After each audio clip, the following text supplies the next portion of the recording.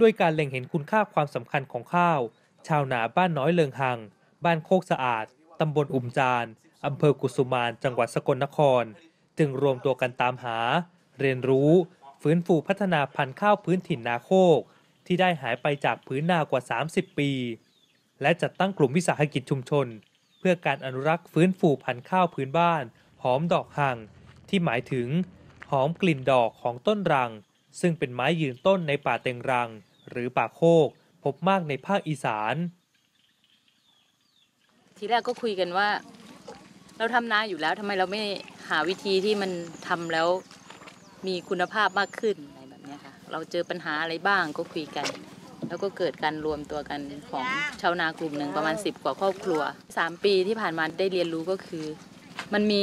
เงื่อนไขมากมายทำให้ ชาวนาจะต้องผ่านมันไปให้ได้ เช่นเรื่องตลาดเรื่องราคาเรื่องแรงงานทำยังไงชาวนาถึงจะรักษาที่ดินของบรรพบุรุษไว้ได้ในพื้นที่แบบนี้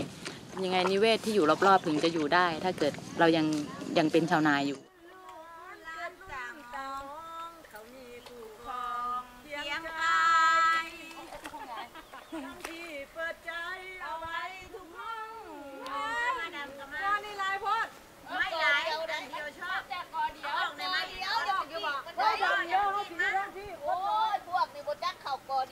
การเพิ่มขีดความสามารถในการเพิ่มปริมาณผลผลิตต่อไร่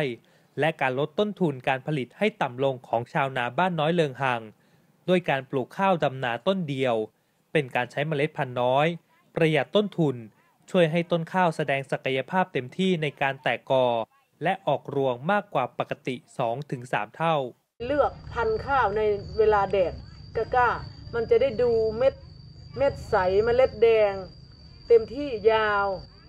มีปีกมีหางบอเม็ดเบดายันมีเขามาปนกอหนึ่งมันจะมีอยู่ 20 รวง เราจะไปคัดเอารวงแม่มาทำพันธุ์รวงแม่คือเมล็ดยาวเรียง ไม่ดำเม็ดใหญ่แล้วก็นับเมล็ดว่ารวงนั่นต้องมี200เมล็ดจะเอามาทำพันธุ์ถ้าเฮาบ่คัดเมล็ดพันธุ์ในปีหนึ่งสองปีเข้าสิกลายพันธุ์ทันที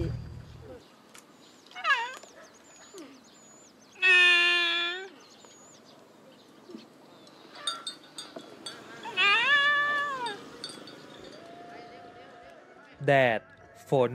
คนกับควาย ทุ่งนาและผืนป่าเต็งหัง ที่ส่งต่อกันมารุ่นสู่รุ่นทำให้วันนี้กลุ่มข้าวหอมดอกหัง สามารถผลิตข้าวหอมพื้นเมืองคุณภาพ เช่นข้าวกำน้อย ข้าวมะลิแดง ข้าวเหนียวแดง และข้าวไรซ์เบอร์รี่จำหน่ายเป็นข้าวสารและเมล็ดพันธุ์ข้าวชั้นดี ขายให้กับผู้ที่สนใจในราคาตั้งแต่กิโลกรัมละ 25-40 บาท ขณะที่ข้าวกล้องคัดเมล็ดบรรจุถุงสุญญากาศ ราคา 80 บาทต่อกิโลกรัม โดยไม่ต้องรอความช่วยเหลือจากหน่วยงานของรัฐ เจ้านามันก็เขาก็อยู่ของเขาอยู่อย่างนี้แหละ มันก็เกิดนโยบายจากโครงสร้างใหญ่นั่นแหละครับ ผมผมพูดอย่างนี้แล้วกัน ในสังคมไทยชาวนามันโดนกดขี่มาตั้งนานแล้ว กดให้ต่ำตลอดเวลา มันก็เลยไม่มีพื้นที่ให้ชาวนาที่จะมีศักดิ์ศรีในตัวของเขาเลย ก็เลยคิดว่าทำยังไงเออชาวนาเราเนี่ยจะมีศักดิ์ศรี ภูมิใจในในส่วนที่เราทำให้ เออเขาทำนาเขามีความสุขเขาร้องเพลงเขาอะไรเพิ่งเห็น ชุดดำสบายสาวหน้าตาดีขอเสียงหน่อยเร็วอ้วยอดยอดทำนายุคใหม่ทำนาแบบปานี่ทำนาแบบมีความสุข เหนื่อยก็สนุก